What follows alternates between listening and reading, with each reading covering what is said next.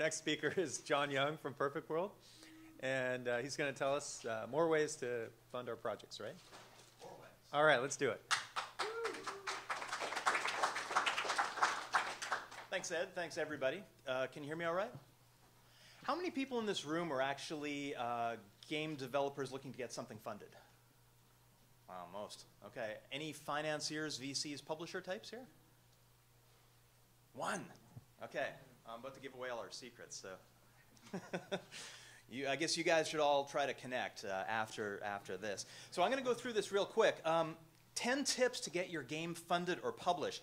Why would I know anything about this? Well, first of all, I've, I've sold a lot. Um, I started a company called Peer Between. We raised some money, launched the product. That didn't work so well. Uh, I started another company called, Ma or actually, I was an early member of another company called Massive. We sold that to Microsoft uh, a, a, while ago. That, that worked fairly well, and we raised a lot of money for it, and I ran around essentially selling game developers and publishers on this idea of an in-game advertising network. And at Gazillion, we raised uh, a lot of money, and hopefully uh, we'll be uh, shipping great products soon. Um, but I've also bought a lot of stuff. I've been on the buy side probably more time. Um, I spent uh, four years as a venture capitalist. Uh, I worked at gPotato in licensing games, and I'm now working for a company called Perfect World, looking for the best developers, looking for the best talent, and we partner with, with folks. Uh, just a little bit about our company. Um, we're headquartered in Silicon Valley. We're working with great developers like Cryptic and Runic and Unknown Worlds. We're 100% owned by PWRD, a public company that is uh, uh, 429 million in revenue. And at that, most people say, huh? 429 million in revenue, all in free-to-play, digitally distributed online games? Uh, how come I've never heard of you? Uh, well, uh, you know, we're, we're, we're here, and uh, we want folks to think of us. Um, launched 10 games live now, starting in 2008, a couple games the year after that, a couple more the year after that, four last year, and we took Star Trek Online free to play and Blacklight Retribution, which was the number two, well, it's the number two or three Steam free to play game right now, um, and was in the top 10 for quite a while. Curse you, summer sale. um, and what we're really excited about is, is, Dungeons and Dragons Neverwinter that we're working on uh, for release at sometime TBD with uh, Wizards of the Coast, and we're really thrilled about how that game is looking. And so we're looking for things like this you know, to buy uh, from you all. So I'm just going to, uh, you know, we've had a lot of accounts, tens of millions of, uh, of, of, cumulative accounts. The revenue growth is growing 58% per year for four years. Uh, you know, this whole free-to-play thing is real. Um, lots of people, yeah, we publish. Um, okay, 10 tips to get your game published. I'm going to try this clicker here, see if it works. No. It doesn't work. okay, do it the old fashioned way. Number one, LinkedIn is for seduction only. And what I mean by that is that this is uh, uh, the sort of note that I would love to get on LinkedIn. Um, I'm sure I got that in my dream. Uh, it's, it's short, it's to the point. It's, and, and I feel like this when I get that kind of a, a LinkedIn invitation request or, or message. But normally, what I often get is something that looks more like this, and I can't read it, and I don't know what the point is, and I don't know where this guy is going, and I don't know what he wants. And, and so, this is sort of what I look like when I'm reading that. Worst of all, it's actually in the invitation. So I'm getting this thing. If I actually click accept, I lose this beautifully crafted essay. Um, it's, it's the most useless thing in the world, but you know what? LinkedIn has a solution for you because for the mere you know 10, 20 bucks, you, a variety of price points, you can buy access to send that email to anybody so that I don't have to accept a friend request if I don't yet know you. So as people pitching to, uh, to somebody who's going to fund you, take advantage of this. It's probably worth it. Um, it's one way to sort of get noticed in the first place. But don't use LinkedIn for the body of the message. Second tip use friends and influence people.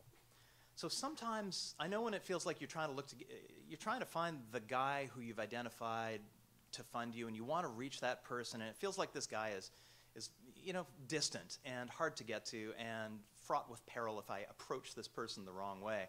Um, use friends because if I'm in that role, and I've made money with somebody before, I'm much more likely to accept their input of who's good. Uh, if you're a social friend, it's much harder to just let it wait for a couple of weeks rather than sort of responding now. Uh, so, so find somebody who knows the person. This is really important. Um, and if you don't have that person, get an agent. Um, CAA, DDM, uh, ISM, UTA, all these, it's got to have three initials. Otherwise, you know, you're an ad agency if you got four, and you're an airline if you've got two. But if they've got three initials and they say they're an agent, they might actually provide some useful value. These people know my priorities as a, a buyer of, of games, and they don't bring me stuff that is kind of off topic for me. And also, they want to keep the relationship with me so they don't bring bad, thing, bad things to me. So it's just efficient for everybody. So agents can be useful. Third thing, simple summary for simple people. Um, we're simple. We're, you know, we're, we're sort of tired and we're seeing a lot of pitches, and nine times out of ten, you're much smarter than we are, and you've been working with your project for a long time. And, and we come in, and when we hear that what you want to do is revolutionize user generated content and reinvent the whole system of anti fraud and, and, and come up with great novel ways to have a new server backend architecture, you, you, you may have lost me if you didn't tell me what kind of game you're making. Uh, and, and, this happens um, distressingly frequently. We need something simple. Um, and th these are some real examples that I've seen just recently. Um, Gears of War meets Descent. Yes. so uh, these are things that actually some people in this room may have because these are real ones that are out there. But now I know, oh, Gears of War meets Descent. I have some sense of what pacing of, uh, and keyboard controls and camera angles and sort of generally what you're trying to do. And I'm intrigued because how would you combine these two games? Ah, okay, now you've sort of grabbed my interest and I've got visuals in my head while you go through your next uh, half an hour of description of what it is you're trying to build. League of Legends meets NBA Jam. Cool. Okay. I think I get it, you know, and then and then I do get it after a while. Hero Academy with deck building. Great. I see what you're trying to build, but make it easy for me. Diablo with Marvel characters. That's that's kind of probably obvious who's doing that, right? Uh, Dungeon Keeper meets Farmville. Stuff like this really helps. You'd be surprised because um, we haven't been living in your world as much as, as you have. So next, be ready. Be very ready. Um, what we mean here, I was actually looking for the Neo picture where he says guns, lots of guns, but I couldn't find it anywhere, so it looks like Trinity and Neo are shopping in like Kmart or something. But as soon as you come in for a pitch and I like what you're selling, I'm going to ask you for all kinds of junk, right? And um, it's it, will resonate better with the uh, the person in my shoes if it's all ready and it doesn't take that long to create. Because if it takes a long time, I'm thinking that, oh, you don't have the bios of your team? Well, maybe that art director who's super hot is actually not committed to the project. Maybe it's kind of like, well, I'll go out and try to raise money, and if I get some, then you can quit your job. Maybe it's that. Um, maybe you haven't really thought through how long it's going to take and how much it's going to cost, right? So we, the perception here is key. Like you've got to have this stuff pre-made so that you can be fast when I ask for it. Um, it will it will be to your benefit. The second thing about that is you actually want to create an auction. You want to make me feel as a buyer that this is time limited and I've got this chance to participate in your great project, but so do all my rivals and nemesis. And if I don't act quick and I don't put you on the fast burner, then I might miss out. So that's a psychology that you can create, but the best way to do it is, you know, you should be presenting this thing to your hit list two, three, four times, well, maybe two, three times a day, um, and be pressuring everyone to keep up and make a decision. You want uh, a yes is the, a fast yes is the best answer, a fast no is the second best, and the worst is just dragging on of maybe for all sides, really. Fifth point, help me persuade internally. So there's different personality types, and uh, you know this is the Myers-Briggs version of, a, of an eye chart of personality types. You know, go ENTJ. Um, but but if you're in pitching to me and it seems like everything's going great, realize that in all likelihood I can't just make this decision to invest by myself. I've got to get colleagues involved. Um, I'm like the front line of a process and hopefully a big influencer in the process, but I, I can't do it single handedly. So we need things that are going to persuade all other sorts of people. I'm not the only character type that you need to sell to. So I need anecdotes, you know, uh, things like, hey, Brandon Beck says all the Riot guys are playing this after hours, or you know, John Romero says it's the the best thing he's ever seen. Something like that persuades some people. Um, facts, just being on top of the facts. You know, hey, there will be five character classes. The client will be 500 megabytes. You know, th- things like that actually persuade other people to make it feel real. Art, we always need art. Um, concept art is just critical to getting a pitch sort of listened to and, and received the way you want it to be. Um, systems. We have a guy who every game, if it's lobby based or session based, I know I will be asked what mode is going to be the most popular. And you know, if you don't arm me with some things like that that speak to system design, then I can't answer him, and the process slows down. Um, and historical sales are huge too. You know, what have you done before? What have you shipped before? How many units? How many dollars? How can you? That, that reassures uh, some segment of people. Um, I think most people who you pitch to have some blend of all this, but it's important to realize that just because you know the frontline person who you're talking to who's motivated all by art, it doesn't mean that the guy behind them, you know, the finance person, will be motivated by the art. All right, next one, time it right.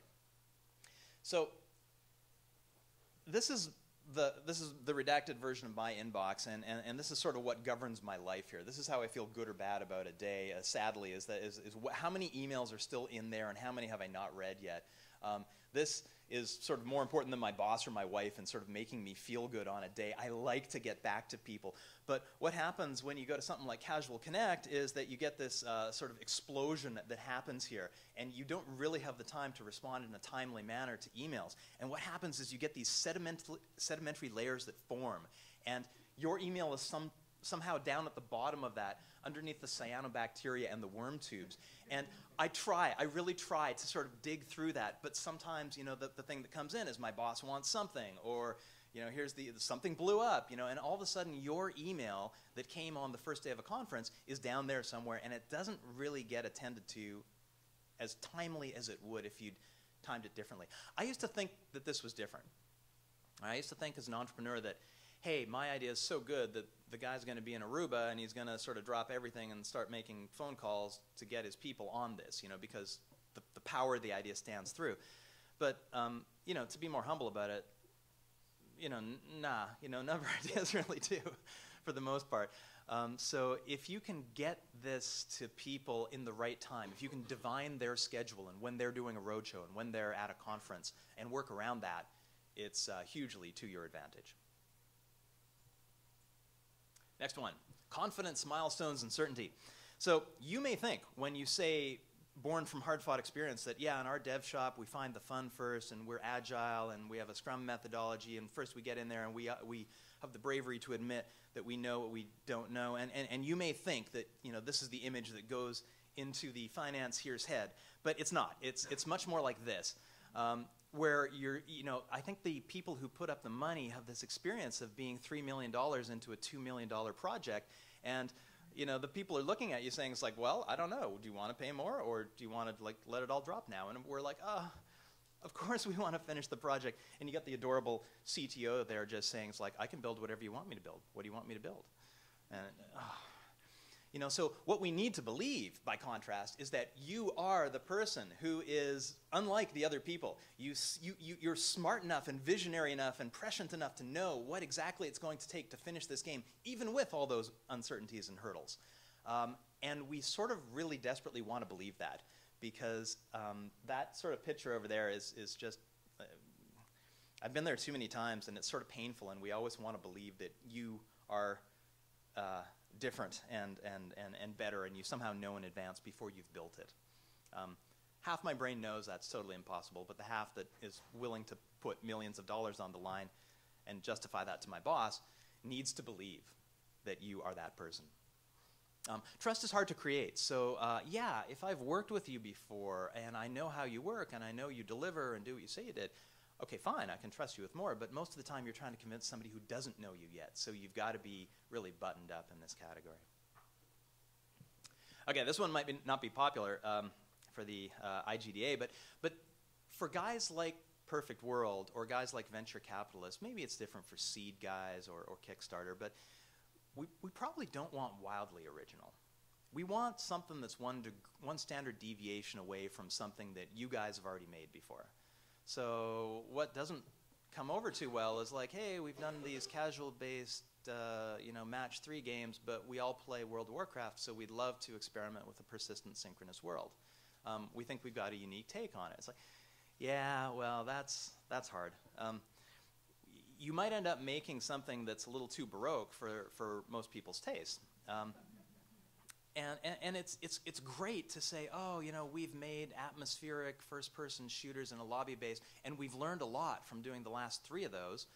And now we want to add in some role playing elements. You know, that's great. Oh, we can believe that. We, we, we have faith that you can execute on that vision.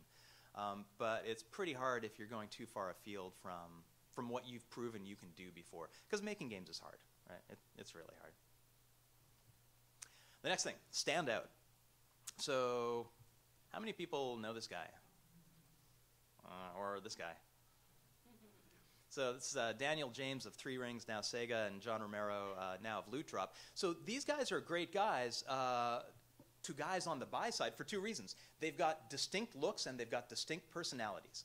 And when you meet them, and if they're pitching to you, they stand out. They're different. Now, I wanted to see how different, so I, I went, it's like, there's my LinkedIn picture. And I just started going through alphabetically. What do the biz dev people look like, or the VCs? And I just got to see. And I, you, know, okay, so fine. So maybe there's a role for this. The, the suit on your team could look like this. But the thing is, if I go to E3 and I'm meeting uh, uh, seven meetings a day, hearing pitches from guys who look like the stuff on the bottom, you don't, you don't stand out. It'll be hard for people to remember. Oh yeah, that one, right? But if you look and act like Daniel or John, you have a much stronger chance. So don't be afraid to you know, embrace your idiosyncrasies. Dye your hair blue. You know, beard guy. You know, we love beard guys because beard guys stand out. It's, it's, it's shocking just how many people who sort of look the same and they're being professional and respectful and everything else. But um, we're in a creative industry, so it's just fine to be uh, a little, little different.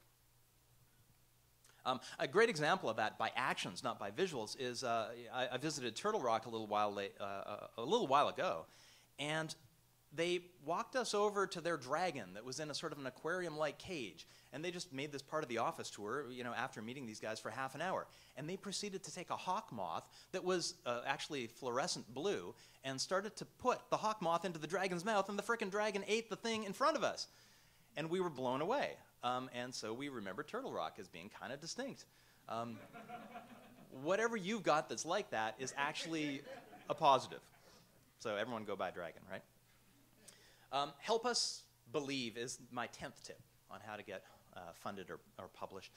We, we want to believe that your company is the one, right? We want to believe, like, in this meeting, I'm going to uncover the gem that's going to make me look good and justify my salary and prove to everyone that my tastes are better than everyone else. Like, we want you to win.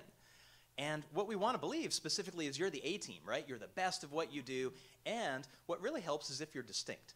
Um, so what uh, you know we, we we got strategy guy we got like a tough guy we got like charisma guy and we got like engineer helicopter flying guy. And and that's sort of the same on your team as you come in to talk to us. So we sort of want to believe that the art guy is you know wildly creative and so he should sort of look and act the part. We want to believe that the cto is kind of brilliant and, and deep and that's great you know? And what gets confusing for us because again remember we're simple um, is when you start to see a guy who seems to be too generalist and he's answering every kind of question and you kind of sneak and looks down to the business card saying isn't that the cto why does he keep talking about the, the art look? And, and, and that gets confusing to us. So what we kind of you know play your part and agree before you go into these pitch meetings ah okay you're the you're the schedule and milestone guy and you're the the person who's the vision holder and you're the guy who tie breaks the decisions. Because that makes it feel more like you're the team who's actually going to be able to do this uh, in the crunch modes and at midnight when all this uh, crap is hitting the fan. So, so those are my 10 tips. And you know what publishers and financiers really want is a, a fully finished game that's perfectly balanced, you know, with a, a, the perfect team, and it's free to us. Um, so if you've got that game, uh, Perfect World, then I would like to talk to you. Thanks.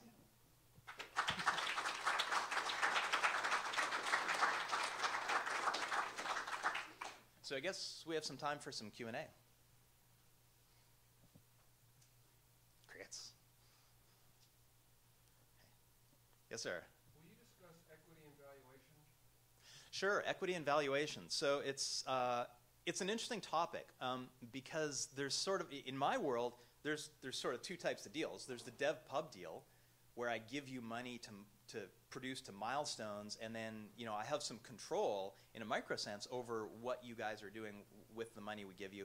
And then there's an equity deal, which in a lot of cases we set a valuation, and then I'm maybe on your board or not, but I have less control fundamentally on what you do, and it's more your company that I'm sort of betting on you to figure it all out in the interim.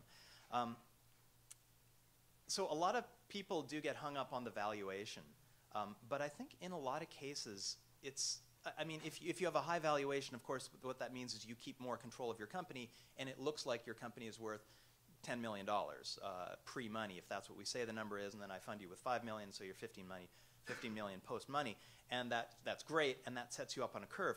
But you also want to be careful that you don't sort of overemphasize that too much. First of all, um, people think it's ridiculous if you're too ambitious on that, and most people aren't the next Steve Jobs, and most people um, might spend too much time fighting over that. And also realize that this is not the last step of the game in most likelihood for you. I mean, maybe you're going to reach cash flow profitability and never take equity again, but maybe not. Maybe this is your Series A and you're going for your Series B next. So you don't want to peak too early and then try to justify why you need an up round later. Um, so anyway, that, that starts to maybe address your topic. We could talk for hours about that one. Uh, yes, sir. You talked about uh, creating urgency with an auction, you know, between all the different people wanting to finance games. Who, who do you see as your competitors, especially for kind of the indie scene, in terms of who wants to fund these games? Oh, well, on the indie scene, I mean, you know, Kickstarter is sort of a competitor to us right now. Um, you know, it, it'd, be- it'd be foolish for me, I think, to see the great deal and then pass on it, and then it gets kickstarted and it turns out to be the next Riot Games, right? I mean, we'd be kicking ourselves. Um, there are, uh, there's an example of Realm of the Mad God. Any of you guys know that game? So is a really cool game, and it just got picked up by Kabam. Um, I passed on it. I'm, you know, I don't know. Time will tell. It didn't really fit our portfolio, and it wasn't exactly right for us. But was that stupid? You know, maybe. Um, so you know, Kabam is not what I'd necessarily call my direct competitor, but hey, in a funding sense, yeah, they're out there looking for great talent, just like we are. Maybe one last quick question. Okay. Well, uh, you mentioned a focus on PC titles and, and kind of RPG style titles. Are you doing anything in mobile yet, or, or is PC still your, your wheelhouse? Oh yeah, so uh, Perfect World has got ten PC-based, you know, almost all MMORPGs. We've got a great game with Zombie uh, that's a first-person shooter, Zombie here in Seattle, um, that is an external development deal. Um, but we've to date been been on the PC. We're really intrigued. We're really attracted to the fact that all of our PC players are starting to spend more and more of their times on tablets, especially. Uh, you know, maybe our games don't translate as obviously to to the small screen, but you know, we're really intrigued to talk to people who are are doing that. Yeah. Okay, great. Thank you. All right. Thank you all. Okay, um, we just kind of back to back, so I'm, we're going to take a quick five minute break, and then Chris Earhart's going to come up and talk to us.